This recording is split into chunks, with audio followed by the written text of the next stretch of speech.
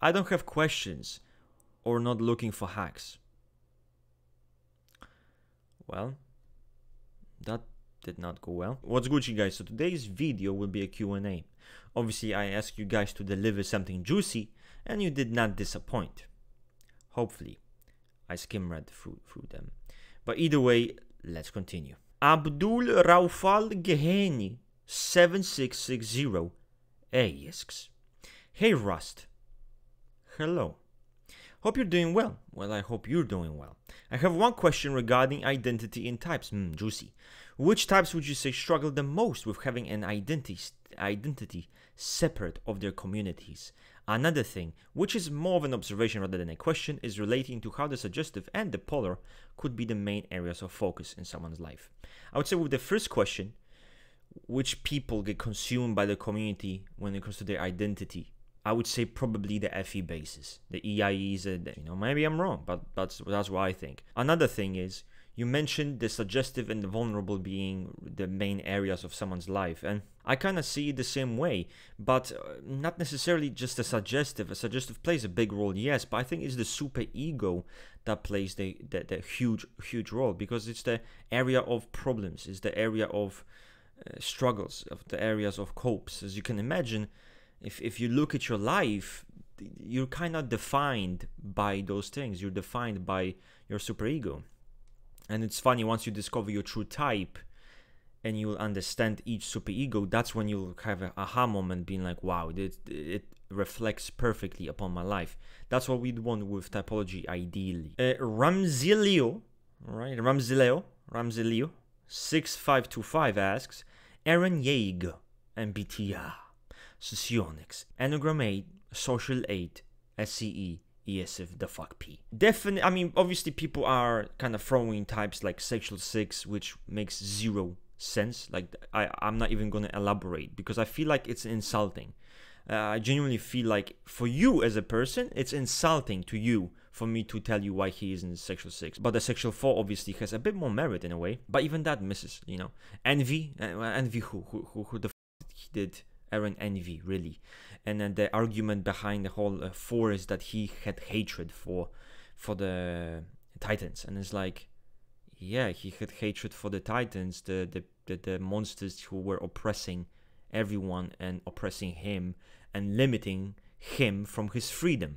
So I would say, yeah, of course he was hateful towards them. Eights can be hateful towards something, especially something like this. So that's not the problem. Of course, then people say, you know, he is too emotional for an 8. And uh, listen, it's a fucking anime. My opinion is this listen, he fits everything about 8. Yeah, of course, he's uh, too emotional, but I'm not gonna not type him 8 because he's too emotional and he's too emo. That just wouldn't be, just wouldn't work, you know? So, uh, 8 core social 8, obviously, very focused on the oppressive nature of the Titans, trying to really sacrifice himself and, and in the end, to fight off the Titans. You know, I didn't watch the whole thing. I didn't watch the season four. I was watching first season, second season. But eh, to me, it's very clear. You know, wants to fight against the eh, oppressors and wants to save his friends and save his people at all costs, even if those eh, methods are very questionable. The whole character is defined by grit, willpower, and determination. You know, there's not much else going on. He's very impulsive. He's very chaotic. He's completely uh, emotional in the moment. So there's no rhyme or reason with this guy. You know, he's just going off his whims. Um, so ESI is very weird. Rational type. Uh, Eren is very weird. Do you have rage issues as Enneagram 8? How to deal with it? Also lack of patience. You would not like me when I'm angry, said someone. Right? A green guy. I don't have rage issues. I don't even have anger issues, you know, because people think that being eight means like you have anger issues. I I find people with anger issues a bit, I don't know, you know, not uh, kind of spurgy and kind of not someone I'd want to be around. You know, like what the f- control yourself a bit. My relationship with anger is is very comfortable. My relationship with anger is very open, unfiltered, and free. You know, that's uh, it's not the it's it's it, it's not my enemy. It's my friend. As weird as that sounds.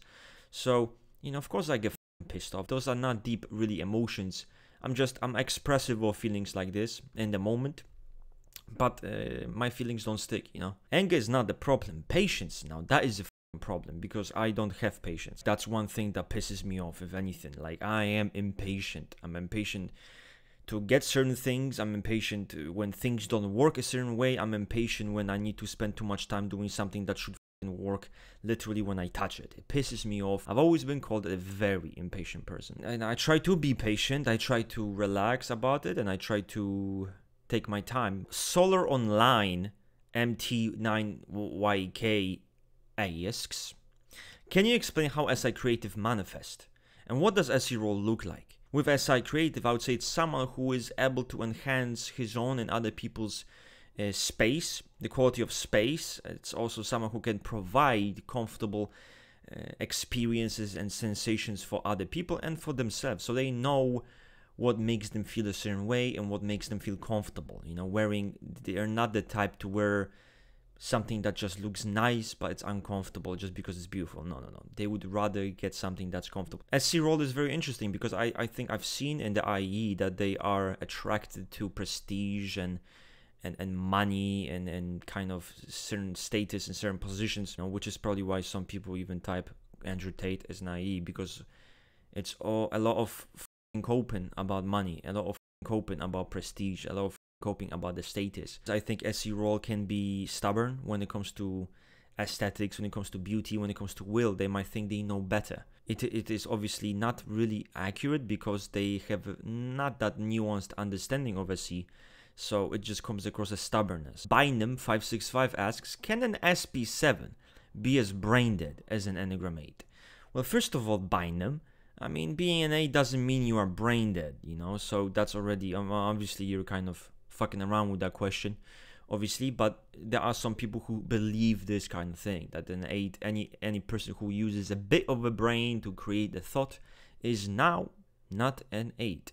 Obviously, no one says that they are intellectual, they are anti intellectual. People don't understand what that means. But it's not a brain dead type. Now, does SP7, is SP7 going to be as brain dead, right? Uh, as an 8, uh, a 7 is a 7. The way you view life, the way you view situations, ideas, is it's it's going to be a bit more geeky. That's just the way that is. You'll have more tolerance for abstraction. You're going to have more tolerance for geeking the out.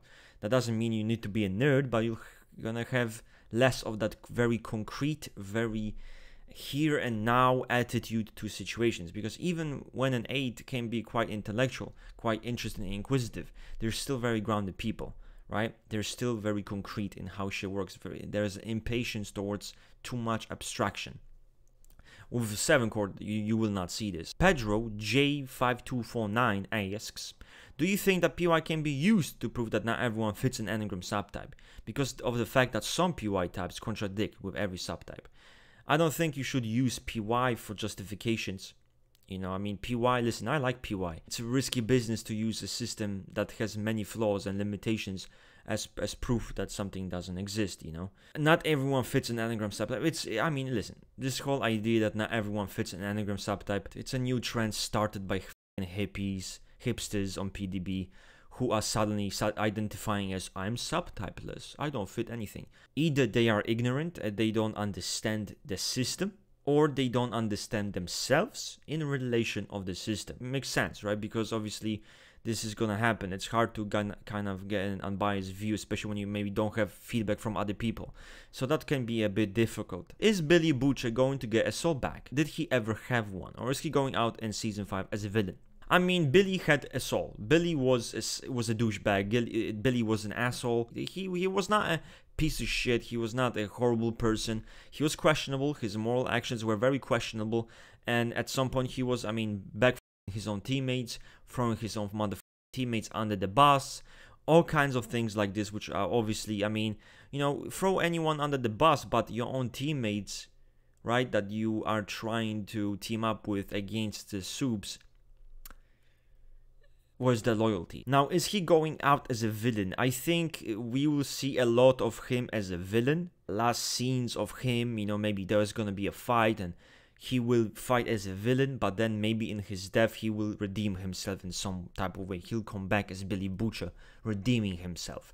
That's kind of what I can see. Maybe sacrificing himself in some type of way uh, might happen. You know that might be a good farewell for for someone like Billy Butcher. Marlist BR7JV asks how different Enneagram types of the same socionics type manifest, look like, operate. LIE filter whether he is an SP3 or SP7, or how an LSE filter whether he is SP1 or SP3. Uh, you know, an LIE doesn't really make sense with Self Preservation 3, it's a very sensorical type. But let's say with LSE, image orientation, right? Perfectionism, but it's about the product you make and it's about other people at the end of the day. It's your image. And SP3 is very image oriented. So there's a lot of seeking validation, maybe not as openly, but they still want to be validated. They still want to fit a certain metric to be worthy by working very hard, by being a good father, by being dutiful. At the end of the day, it's all created by this desire to, to feed the vanity, which, you know, is not the case with an SP1. And SP1 doesn't give a f- about that at the end of the day. A good example of that is we were mentioning uh, Mother's Milk from the Boys uh, TV show. I mean, would you confuse him for an SP3? Never.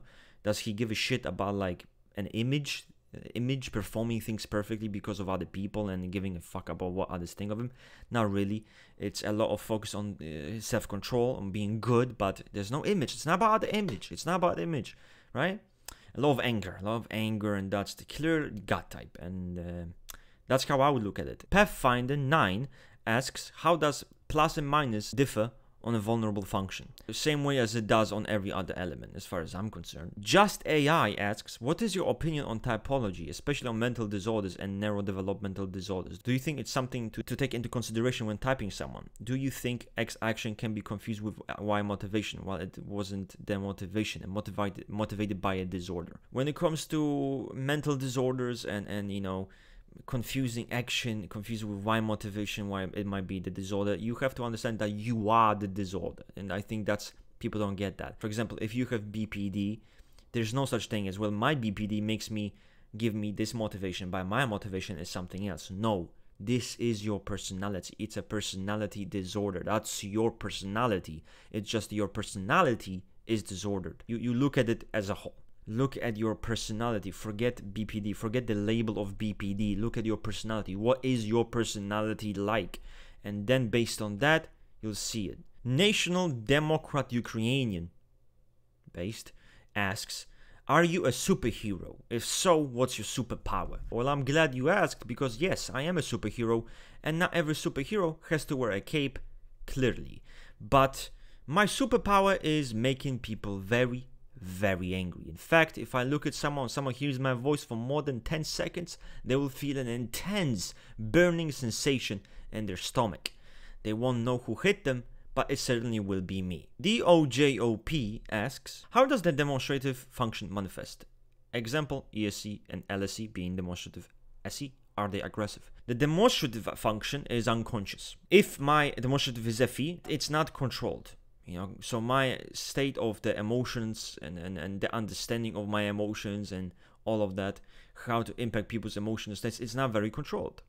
So there might be an emotional expression but it's not measured. It's not measured with an impact like it is for the fe base for example which is you know again conscious fe they do things to impact people emotionally a certain way I mean, ESE is very often demonstrative SE is very easy to see. They're showing off their beauty, they're showing off their aesthetics, they're showing off the beautiful things that they do. It's very common for ESE, it's probably the easiest demonstrative to see. The demonstrative wants to earn praise, okay? It doesn't brag, but it wants to earn praise. I don't want to say that they are aggressive can they be aggressive? Of course they can be aggressive. You know many many types can be aggressive. That's not the problem. Besides aggression in of itself is not really related to a c you know being a c having high c doesn't suddenly mean you are aggressive. You have higher kinetic energy and with higher kinetic energy potentially when you uh, express it that energy right into a certain movement or certain action it can be aggressive. Cobius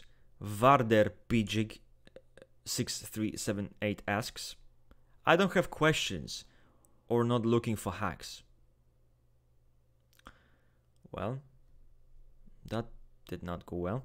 Apparently, but not surprisingly, I am infected with severe ADHD. Wow, infected. Didn't know it's a disease. The little block with dots became nine spinning blocks like psychedelic lava lamp. Lava lamp. Been checking the DSMO, dimethyl sulfoxide. Somebody told me can be used as a vehicle to carry chemicals that would normally not be very observant THC oil or mescaline. Lol, party in your head. Bored, so not really. The Socionics thing is way too much Russian, what not. You asked it the last time, very accurate. I have to heal from ADHD before tomorrow morning. I'll wear a mask before I infect someone. Sir, you are very kind. I mean, wow, you are we don't want to infect other people with ADHD, right? We don't want to give them ADHD, so that's very nice. Farrell Jackson asks, how do you tell the difference between an LII and LSI behavior traits and values? A deep explanation. LII, okay? Coped the out when it comes to aesthetics, when it comes to resources, how to manage money, other people applying their will on them. There is a lot of insecurity and instability in that area. This an LII often dresses plainly. An LII dresses in a way where it's acceptable socially, it's acceptable by other people. They need feedback from other people to know what looks good and what doesn't look good. They're insecure in those areas. They are very good at understanding potential of systems, potential of, of people, potential of themselves. That's not the problem, but the C is the problem. With LSI, that's not the problem. And LSI is an aesthetic genius. This is the most aesthetic type. They dictate what looks good. They dictate what doesn't look good. They're very organized when it comes to how shit looks and how they want things to look. That's first of all. Very good at their will, applying their will, no issues whatsoever. Their issues stem from their own potential potential of other people. They don't want people to pay attention to it. They don't want people to talk about their abilities or their what they're incapable or capable of. This is not what they like, which is not a problem for the LII actually. He talks about potential of people, capabilities of people very openly and very freely. So that is the difference. Eloquery though Davidson, Davidson asks clear differences between FE demo and FE mobilizing and real life examples, especially when it comes to friendships and relationships. Very emotionally expressive people. They can have no issues in expressing emotions in the moment and, and being very charismatic, being very charming, impacting people's emotional states either negatively or positively. With the FE mobilizing, you just don't have such freedom. They are much more sensitive to criticism and they need constant supervision to function really very well. As we know with the SLE and the ILE, they might not they might overdo certain emotional expression, you know, ruin the mood. They might not express themselves fully. They might not express themselves enough at one point and then too much at another. They don't know how to do that. They don't know how to express their emotions and they can be quite insecure about that. So any criticism or any remark on that will cause a lot of sensitivity and coping. Mr. VO asks, what do you type? Adesanya and Dricus. Who are you picking tomorrow in the main event? What got you into Socionics? Uh, Adesanya. I think Adesanya is gonna fucking take the W. Dricus, I'm not sure what do I type in. Maybe some LSE. I don't know. He gives me those LSE vibes. Adesanya, I'm thinking something like SCE, IE, so, something like that. What got me into socionics? Psychology, actually. Psychology got me into socionics. Um, well, actually, MBTI got me into socionics because that's how it started. But I got into MBTI because of psychology. I was interested in psychology. I was interested in human behavior and human psychology, and I've kind of from there I was very bored. Stumbled upon some MBTI server, and the rest is history. You know, made my server, had invited people, had people, met met more people, then they introduced me to Socionics, and that's how I knew about Socionics. So either way, guys, that's it from me for today. If you have any questions that you want to ask in the comment section, I will answer them. This is your time to shine. I'm out, and I'm bouncing.